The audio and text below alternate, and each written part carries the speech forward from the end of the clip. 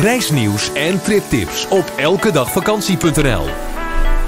Olifanten kijken in Beekse Bergen en dan hun dierenfamilie in Kenia steunen. En wat zijn volgens Google de beste stranden van Europa?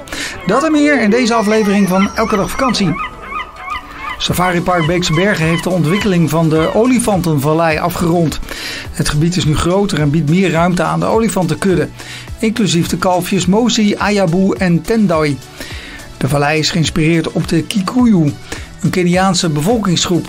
Een nieuw restaurant met 150 zitplaatsen binnen en 200 op het terras kijkt uit over de olifanten, giraffen en neushoornvlakte.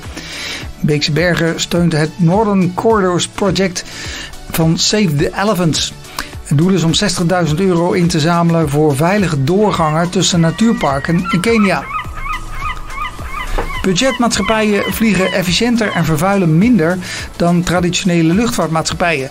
Althans volgens een onderzoek van de Consumentenbond. Prijsvechters zoals Corendon, EasyJet, Ryanair, TUI en Wizz Air vliegen met zuinigere toestellen en vervoeren minder overstappers. Hierdoor zijn hun toestellen beter gevuld en veroorzaken ze minder uitstoot. Traditionele maatschappijen zoals KLM, Lufthansa en British Airways hebben vaak een ruime business class en minder goed gevulde toestellen. Bovendien vliegen zij met veel reizigers met een overstap, wat extra uitstoot veroorzaakt door taxiën opstijgen en landen.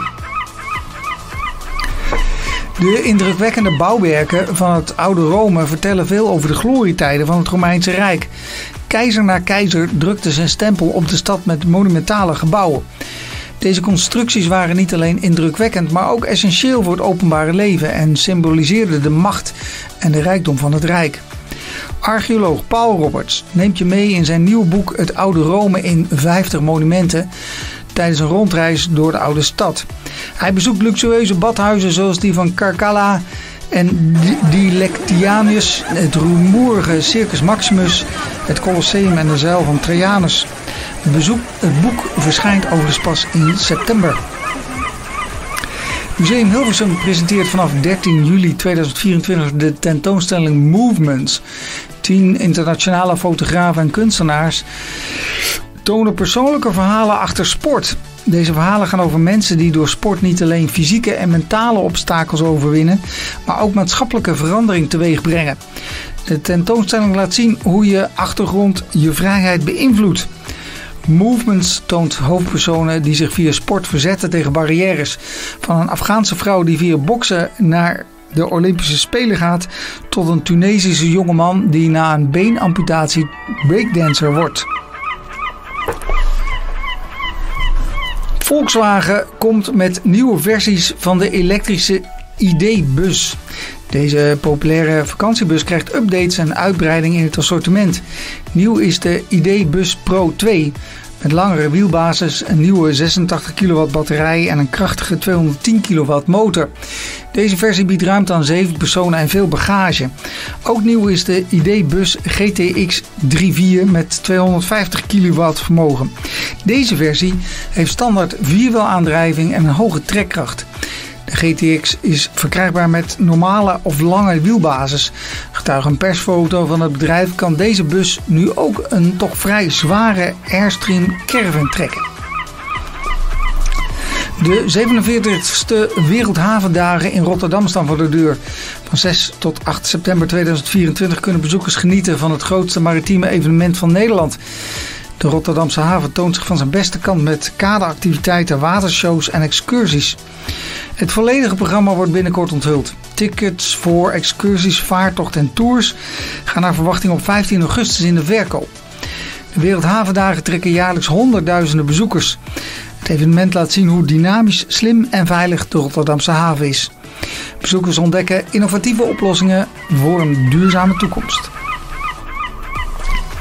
Attractie- en vakantiepark Slagharen begint deze maand met de Wild West Summer. Het park wordt omgetoverd tot een bruisend dorp uit het wilde westen van 1860, compleet met live muziek, vlaggetjes en lampjes. Er is van alles te doen voor jong en oud. Meer dan 30 attracties, shows, verschillende soorten eten en straatentertainment. Het belooft een mix te worden van dorpsfeesten in Nederland en het Wilde Westen. Een van de hoogtepunten is een stunt battle tussen cowboys Joshua Inglewood, George Sullivan en Daniel Ze strijden om de titel De stoerste cowboy van Slagharen. En het publiek kiest uiteindelijk de winnaar. Hollydo heeft een lijst samengesteld van de populairste stranden in Europa en Nederland. Hiervoor analyseerde het boekingsportaal gegevens van Google Maps, gebaseerd op duizenden beoordelingen en waarderingen. De top 5 van Europa begint met Barraffle Bay Beach in Pembrokeshire in Engeland. Dit verborgen strand, omgeven door duinen en pijnbomen, pijnbomen, is alleen bereikbaar via een korte wandeling. Het scoort hoog met een 4,9 uit meer dan 1500 beoordelingen.